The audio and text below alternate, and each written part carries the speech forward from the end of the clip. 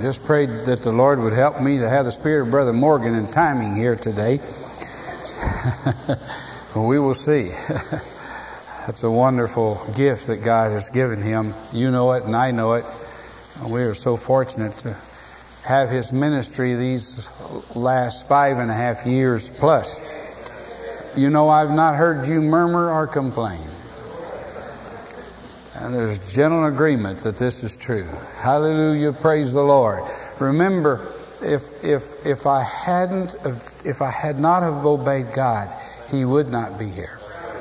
I did not know that Jesus would provide in this manner. I simply knew what you know that if we obey, He will take care. He will take care of what we need. And so I'm very, very grateful. That's not all that's happened. A great prayer ministry has been raised up. But I don't want to take too long. If I keep the spirit, Brother Morgan, I must hasten. He rarely makes introductory remarks. Don't you worry, I'm not going to try to be like him, but I did want to get this in succinctly if I could. A few Sundays ago, I was preaching, or getting ready to preach in Minnesota.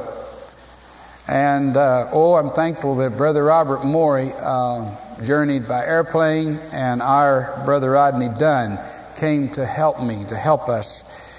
Rodney Dunn drove 12 hours one way, 12 hours back. Tremendous. I was so shocked when I saw him. But they were there to hear what God had given me that morning. Uh, I, I, go with my Bible. Seldom do I get anything ahead of the message or of the service itself because I, I try to find how Jesus is working in the service. Before that, at White Harvest, I think, Pastor Terry, that Jesus gave me as wonderful a series of services as I've ever been privileged to be in in my life, except for the sermon, We. Brother, uh, Brother uh, Richie told me that.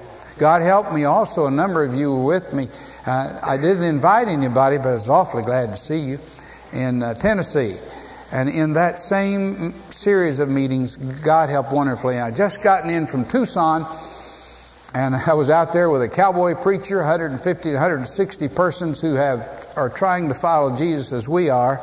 By the word, since then, I've gotten word that two more congregations are springing up of considerable size. That is, God is bringing them, uh, and they're looking to how the Lord has taught us. One is in a very far western state, and the other is in a very far southern state. I cannot speak of those congregations now, but I want you to notice, if you may take this, and those of you who are not of Scott Depot proper, this is Scott Depot extended.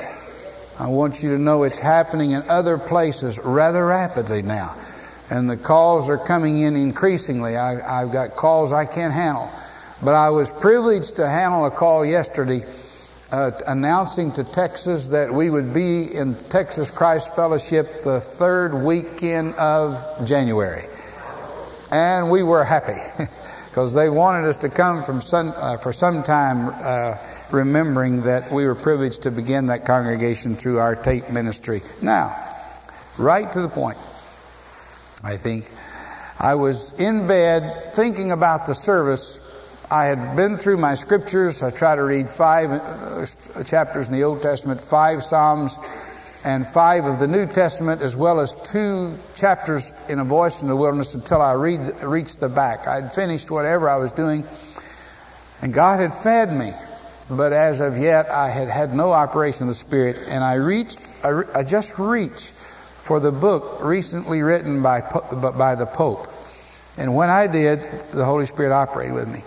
I open to the first part there, and it says, it says, How do you know how to pray? Right there, the Holy Spirit operated with me. I thought they're asking the Pope, who has the prayers of Augustine and Chrysostom, and, and has the prayers of the great Anselm. He, has got more liturgy than you and I have ever thought about. They're asking him how to pray. And his answer to the reporter, it's written in question and answer form, this book on holiness that's out. He answered him this way I don't know how to pray. He said, I, May I refer you to Romans 8 26. He said, But the Holy Spirit helps me in my weakness.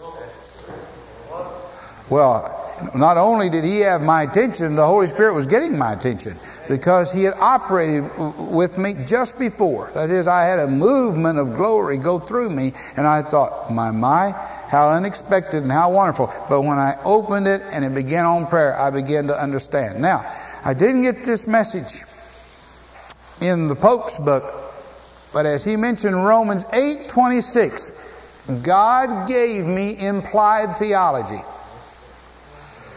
Because I saw the connection between Romans 8:26 and 8:28. It's never happened to me in my life. I found it written in no book, nor has any man ever taught me. But it's a joy to share it with you today. So we read these passages, and then I share with you something I think may quicken you and encourage you by God's grace. 26. I do want to refer that in the 18th verse, Paul's talking about suffering. I consider that our present sufferings are not worth.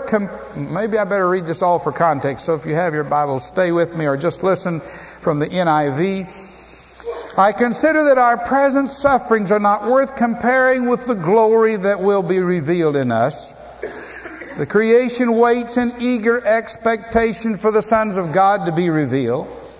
For the creation was subjected to frustration not by its own choice, but by the will of the one who subjected it, in hope that the creation itself will be liberated from its bondage to decay and brought into the glorious freedom of the children of God. I'll have to throw in an extra point here for daughter Naomi. this tells us that the animals and the life around us that is, that all of nature around us will be transformed, not destroyed. Because there's a word about being destroyed by fire. And that sounds like that's a paradox, and we don't know just how to figure that out. But this tells us that creation will be transformed, not destroyed. Uh, that's just extra, but it's thrown in for one who cares, and maybe you do too. It means a lot to me. Now, we know that the whole creation has been groaning as in the pains of childbirth right up to the present time. Not only so, but we ourselves, who have the first fruits of the Spirit, groan inwardly as we wait eagerly for our adoption as sons, the redemption of our bodies. So here we have the Holy Spirit within, we have the, whole, the groaning of creation. But we have a groaning, and all the more so, we have a groaning for, because we're creatures. But we have a groaning that's more intense than that and more meaningful because it's the Holy Spirit who's been given to us as the first fruits of redemption and in the expectation of full redemption, where they shall be transformed, we shall be changed in the twinkling of an eye and given bodies that are not like these deteriorating bodies that we have now. That's great. And he says, For in this hope we are saved, but hope that is seen is no hope at all. Who hopes for what he already has? But if we hope for what we do not yet have, we wait for it patiently. And here comes Romans 8:26, to whom John Paul II referred, and the Holy Spirit dealt with me when he did. I read. In the same way, now this is now. This other groaning is for that which is ultimate and complete. But what about now? So, in the same way, now, if I may add a word, the Spirit helps us in our weakness. We do not know what we ought to pray for, but the Spirit Himself intercedes for us with groans that words cannot express. And He searches our hearts, knows the mind of the Spirit, because the Spirit intercedes for the saints in accordance with God's will. I'll go ahead and read 28. 29, it tells us the reason why. For those God foreknew, He also predestined, and here's the reason why to be conformed to the likeness of His Son, that He, being Jesus, might be the firstborn among many brothers. And though he predestined, he also called. Those he called, he also justified. And those he justified, he also glorified. Now, I'm sitting there and I suddenly see, through the help of the Holy Spirit, implied, not explicit theology. Explicit is obvious here, but implied theology. I see the connection between 826 and 828. And this is it. Let me back up to give you this and I'll step into it.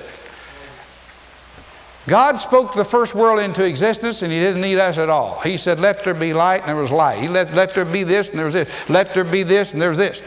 But the spiritual word of the work of the kingdom cannot be brought into existence by His speaking without us.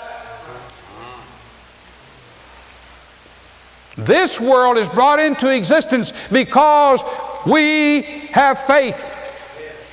Faith cometh by hearing. Thy kingdom come, thy will be done on earth as it is in heaven. This world is brought into existence because you and I are co creators with Him. And through prayer, this world comes into existence. John Wesley said, and it never worked without prayer. It is brought into existence with prayer. Some heard me speak about this at um, White Iris and then on into Tennessee also. But it's a, it, that's quite a thought. that he limits himself. He has limited himself. And it was uh, the great Pascal who said the primary reason of prayer is creation. He creates through us. We're joint heirs with him. We've been blessed, raised to the heavenlies in Christ Jesus. And when He speaks the word, we hear the word and we pray that world into existence. This morning we prayed a world into existence for someone or someone's. Someone was saying, said, How do you know? I know because of what happened to me within. I know because of the movement of the Holy Spirit and the prophecy that was given to me before. Sure, this is silly to the world, even to the world of the religionists. But I'm telling you, friends, Christianity is supernatural, and without it, there is no, there is no Uh, it isn't good at all. And so he works. Don't you love this thought itself? Now, now listen to this. I haven't even gotten to the main point, what he showed me. But this will surprise you, I think, because see, that's explicit theology. But implied theology, that's sort of underneath. Now, you and I pray what we hear, and a world is prayed into existence, and we bring it to pass. We maintain grace. We see bodies healed. We can even see the death raised. That will come. That will come again by God's grace and mercy. We will see people come back from the dead. Hallelujah. Because He speaks it, and we believe it, and it's brought into existence. But while we're praying, we're praying oftentimes imperfectly. Seem like most of the time. Unless He tells us what to pray, we really don't know what to pray for. But while we're praying, there is someone praying within us who prays perfectly.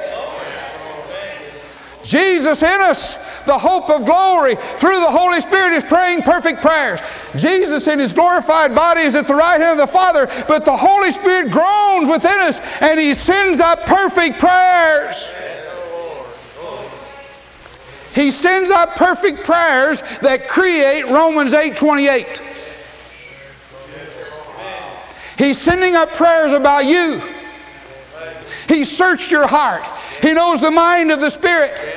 And as He sends up those prayers, He forms around you a perfect existence. That is, He forms around you a perfect wall, a perfect mesh, a perfect pattern of things that will bring you to Christ likeness and excludes everything else. That's implied theology. I never got it except I was in bed in Minnesota and it fell on me when I read that the Pope depends on the Holy Spirit for his praying. And I'm so excited about it. Because the Holy Spirit prays from our. See, now it doesn't happen if you don't pray.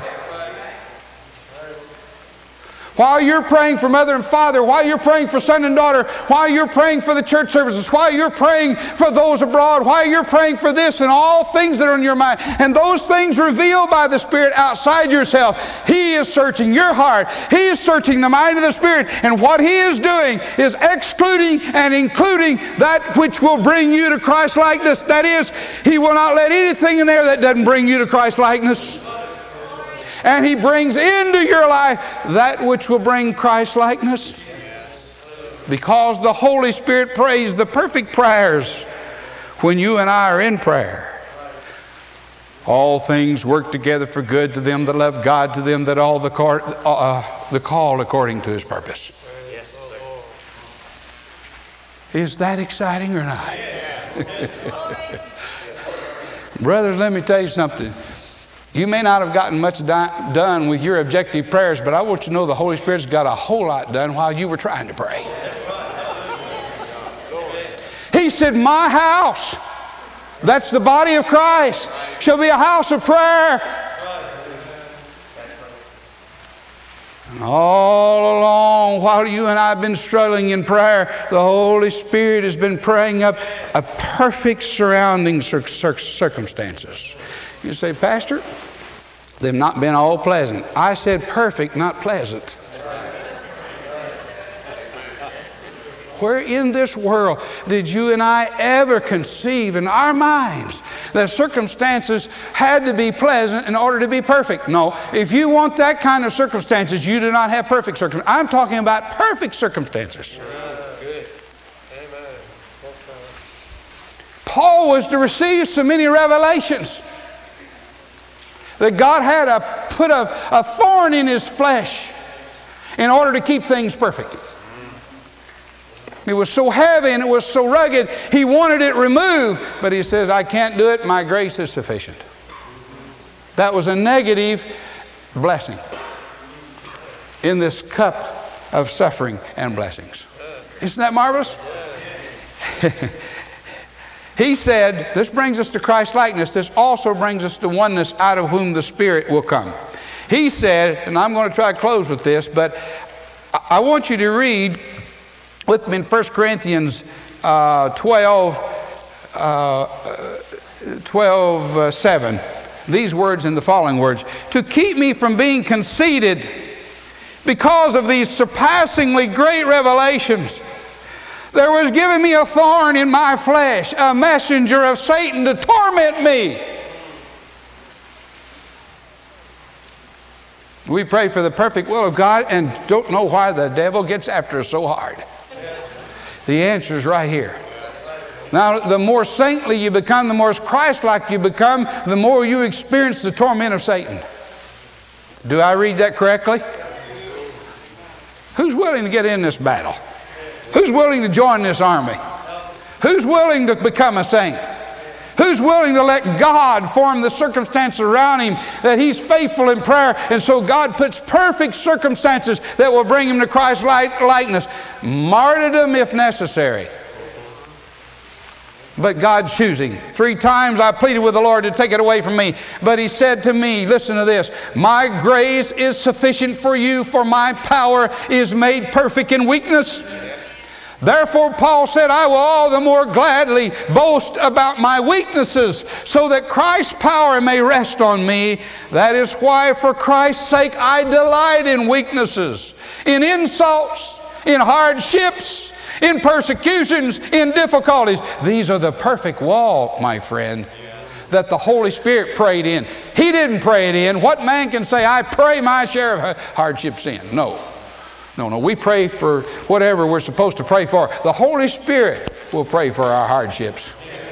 I've been with you, I've been with some in this church a year to two years to three, and I saw such saintliness and I knew what they were headed for. I didn't know I would be headed for some things myself. I pray that's a sign of saintliness. But for the ones I knew when I came, I knew what they were headed for without the theology.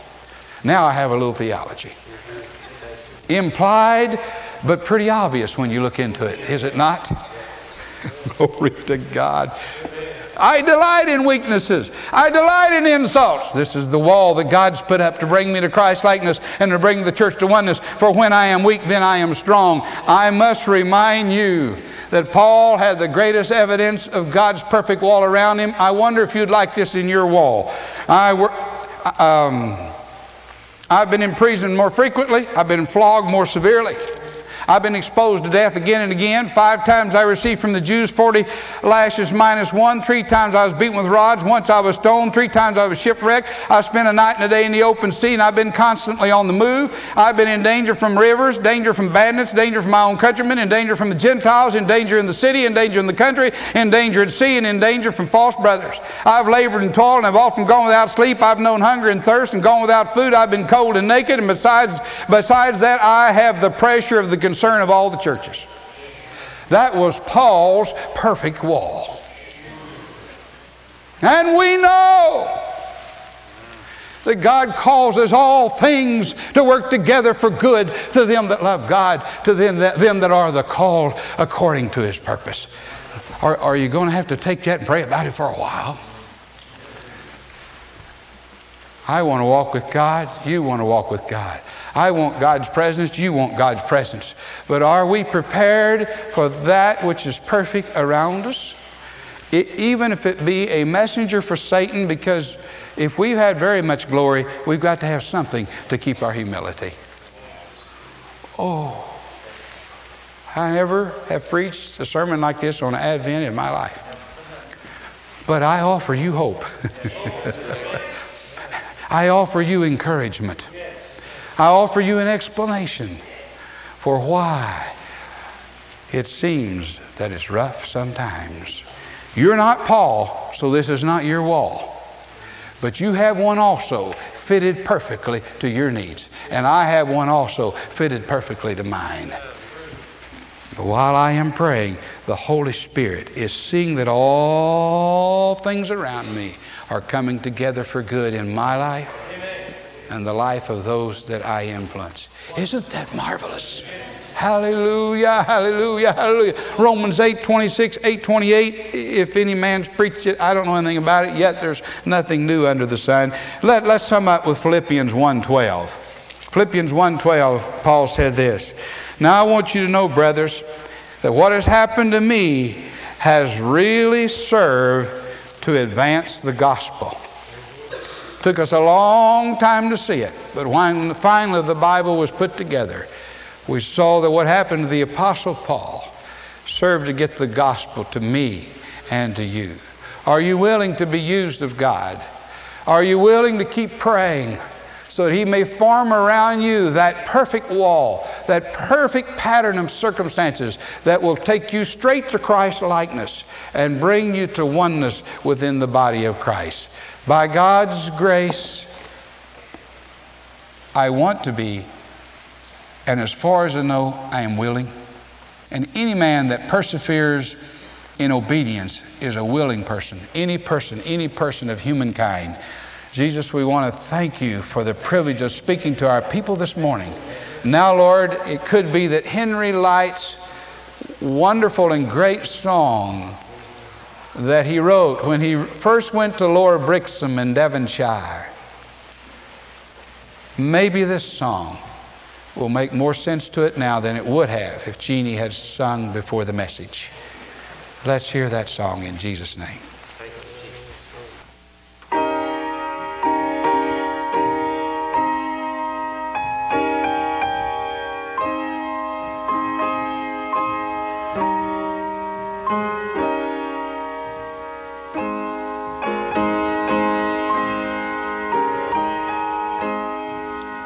Remember that in the middle of his ministry, he wrote, Praise my soul, the King of heaven. 800 children in Sunday school, 80 teachers just to teach the children. The fishermen grew to love him, and he put a Bible on every boat. But that was the same man that 23 years later, because of ill health, had the devil creep into his congregation and take nearly all support away until in that last day his choir wouldn't even sing for him. And he left that treasury abide with me, with him into the hands of Charles Potter, his gardener. I preached this one day, the day that Mama's wedding took place and the day that we announced Tina's death. But when he first, after being so wonderfully blessed, maybe as beautiful a man as John Donne, he was sent to this little fishing village. And there he died to himself. And out of dying to self, he wrote this song. What he did not know was that God, or he may have known, was God was forming a perfect wall to bring him to Christ likeness and feed the church for decades.